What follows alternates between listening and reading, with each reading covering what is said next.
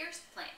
I'm going to make vegetarian chili for a party that I'm going to in a couple of days. So that means that it'll have a couple days to set and the um, spices will get in there, the flavor will get in there really good, which means that also means that when I go to the party, I hope everyone eats it because it'll already be a couple days old and I won't want to save it very much longer after that.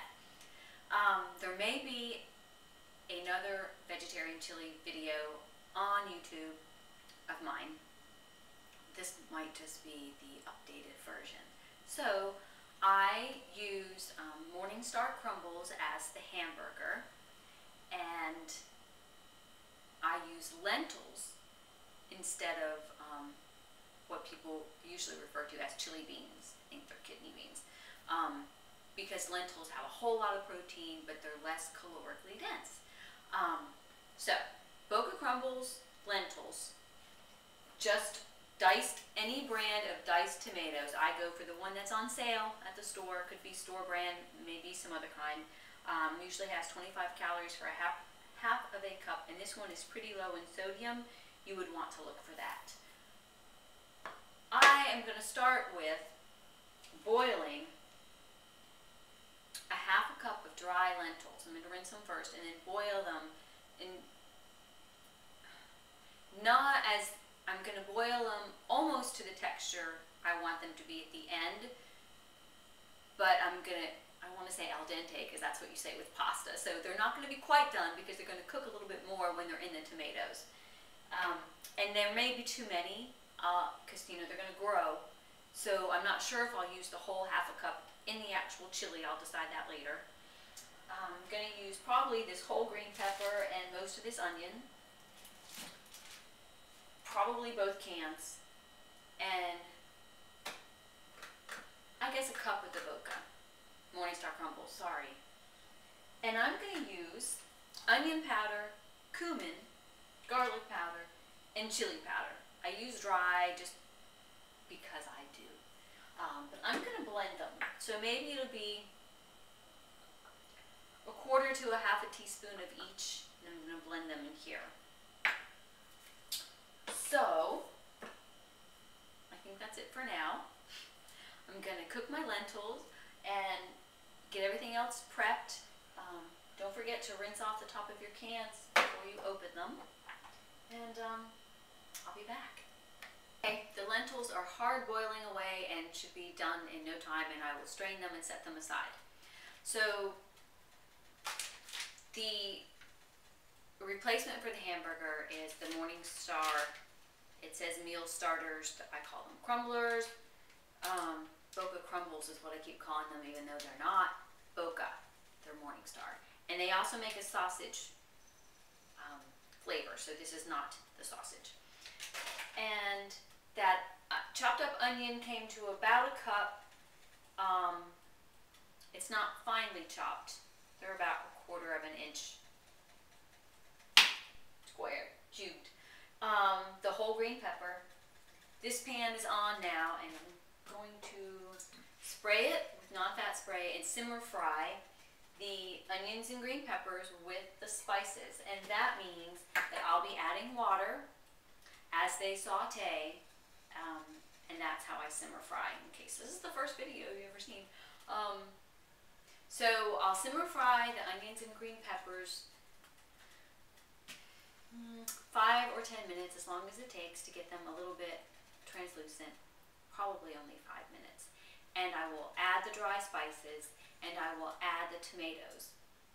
Stir that up really well and then cook it on low to medium for about 30 minutes, watching it so it doesn't seem to be drying out. You want the tomatoes to cook, but you don't want to lose all your moisture.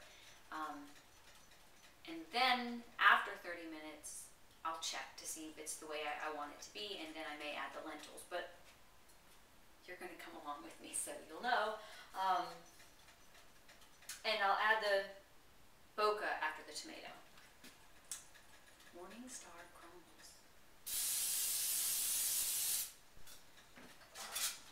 So, sorry I haven't back to you.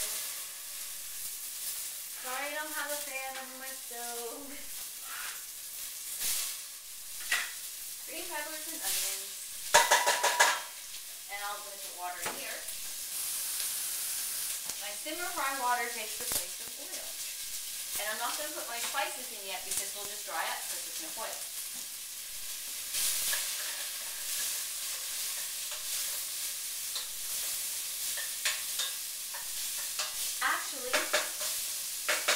My produce is covering most of this pan, I think I'll go ahead. These dry slices will go on onions and peppers.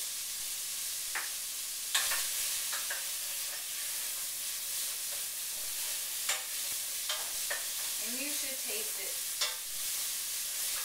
You have to be careful with your spices. Make sure you get enough in there, but know that it should, the spices should um, become more pungent overnight, you know, after you refrigerate it and stuff. So you don't want the pan to get dry, so that's the whole simmer fry thing. Just a little bit at a time. And they'll saute, and as that water evaporates, then you add some more until your vegetables are cooked somewhat. Just like if you were sauteing anything in oil, you get them to a certain texture and then you add the rest of your stuff. Same idea. So do this for a while till you get it right. Whatever that means. Add your tomatoes. I'm going to add both cans and add your fake meat and the rest of your spices and simmer for 30 minutes. Right, here's some simmer fry action. And there are my lentils that I've already cooked. They're waiting their turn. Um, so I'll let this go a couple more minutes and then I'll add the tomatoes. Okay, you can see through the steam that the pan's just about dry now. There's no more water and the vegetables are partially cooked. So now's when I will add the tomatoes. Oops. In the pan, not over the side of it. Oh, now I'm steaming the camera. So, mix all of this well. There you go. The rest of my spices, not many. And I'm going to turn it down. It's hard to stir with the plate. okay. Stir them all in there good. And I think I am going to use all the lentils later. I'm going to let